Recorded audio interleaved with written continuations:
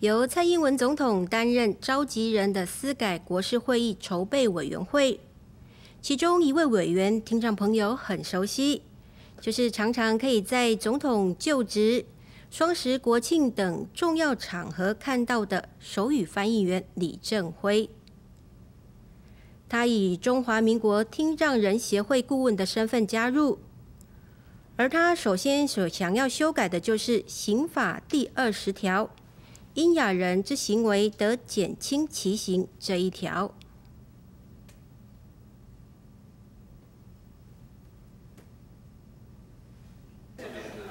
力推司法改革，司改国事会议筹备委员会邀集了来自金融、媒体和社服领域的十七名委员参与，也包括了拥有法学硕士以及丰富手语翻译经验的李正辉，以中华民国听障人协会顾问的身份加入。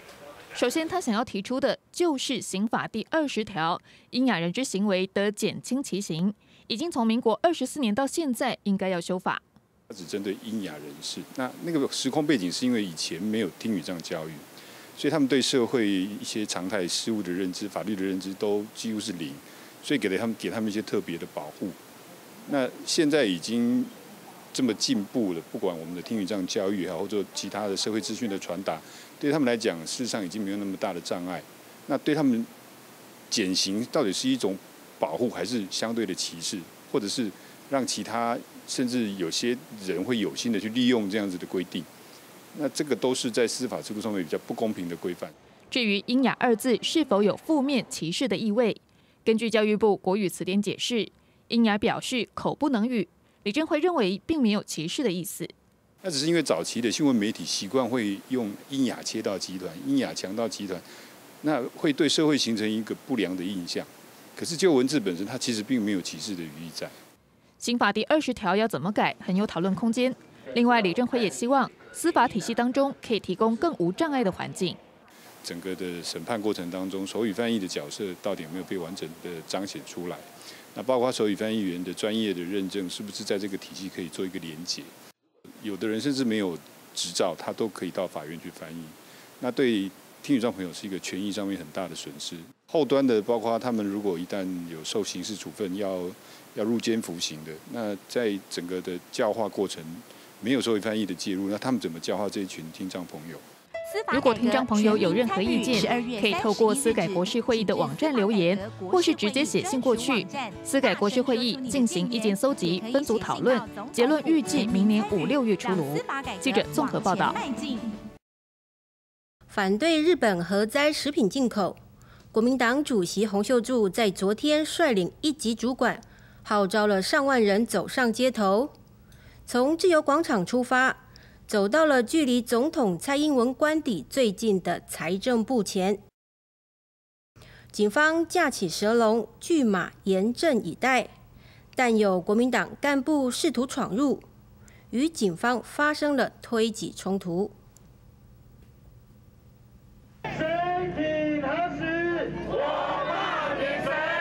锅碗瓢盆反对日本核灾食品出台，国民党主席洪秀柱率领一级主管号召万人走上街头，从自由广场出发。这中间有什么交换？有交换，请他说出来。什么样交换的条件？要用我们的健康去交换。从自由广场一路走往景福门、凯达格兰大道、公园路，最后走到距离总统蔡英文官邸最近的财政部前，大声抗议。警方早就架起蛇龙巨马，严阵以待。代表了七成以上的民意来到这里，我们为什么看到的是巨马跟蛇龙？巨马跟蛇龙阻挡了民阻挡了民意的怒吼。蔡英文官邸就在眼前，有国民党干部要突破巨马，与警方爆发推挤冲突。警方不停透过广播警告，筑起人墙，要防止有人闯入。幸好没有人员受伤，游行平安收场。为了展现反核时的决心，国民党扬言这只是一开始，要蔡政府倾听人民的声音。记者李信、郭俊霖台北报道。新竹市光复高中学生在圣诞夜感恩游行活动，装扮成纳粹德国亲卫队，引发了争议。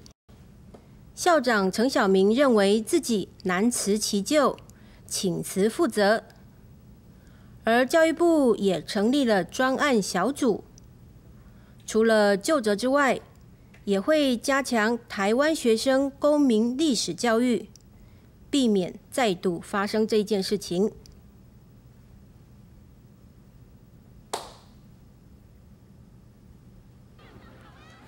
新竹光复中学校庆举办变装游行，学生穿着纳粹军服，举着纳粹旗帜，还跟在一辆由纸箱改造的战车后面绕行操场。原本以为有趣的照片放上网络，却引发各界谴责。校长陈晓明下午宣布要请辞负责。为了表表示对这整件事情的负责的态度，在此宣布自即日起请辞校长职务，并另向教育部提报后续的惩处名单。陈晓明认为自己监督无方，难辞其咎。教育部长也认为学校的做法不妥当，将针对老师、学生等人从上而下通盘检讨。老师在引导学生的过程当中，并未让学生深刻的去体会、体验啊这种历史的伤痛，而比较以休闲呃娱乐的方式啊去做呃这样的一个呈现啊，这个其实是呃相当的呃呃不适当。学校没有严格把关，将纳粹屠杀以娱乐方式呈现。台北市家长协会也认为，这凸显台湾历史教育出现很大的问题。我们只提供一种答案，让学生们去了解，然后通过考试来认认证了这样的一个答案。这背后的这种教学的呃困境跟盲点，也使得有这样的一个现象出现，也也不足为怪了啊。陈父表示，台湾的教育就是背书和考试，造成学生不懂得去思考、查证，才会导致他们对历史的认知过于肤浅。而目前教育部已经针对事件成立专案小组，除了就责之外，也会加强台湾学生公民历史教育，避免这样的情况再度发生。记者朱子怡、谢启文台北报道。高雄一名两岁男童，因为睡觉的时候眼睛没有完全闭合，有蚂蚁钻入了他的左眼。而蚂蚁的残骸留在眼睛里，磨损了眼角膜，造成眼左眼并发蜂窝性组织炎，视力只剩下了零点一。幸好及时就医，否则要是蚂蚁钻入了脑部，不止视力救不回来，就连生命都会有危险。小朋友爱吃甜食，吃完后手脸若沾黏糖粉，一定要记得洗干净再入睡。高雄一名两岁男童日前睡觉睡到一半，发现眼睛肿到张不开，还持续刺痛，母亲紧急将他送医，发现男童眼里有蚂蚁残骸损坏了角膜，让男童左眼并发蜂窝性组织炎，当时视力只剩零点一。因为眼睛一般不太容易会有就是东西跑进去，一般好像都是耳朵，对，然后看小朋友也。蛮不舒服的。男童先天眼睛无法全闭合，又喜欢吃零食，疑似手指或身上有饼干屑，引来蚂蚁钻入他的左眼。医师说，幸好就医的早，否则蚂蚁再往脑部钻，后果不堪设想。如果还有一些糖糖果屑屑在身边身边的话，最好把它擦干净。跑进去的话，就容易像这个像这个全世界的案例，他是非常非常幸运呐。擦擦只只擦了一两个小时，这个蚂蚁要是跑进去的话，它大概。只有生命的危险。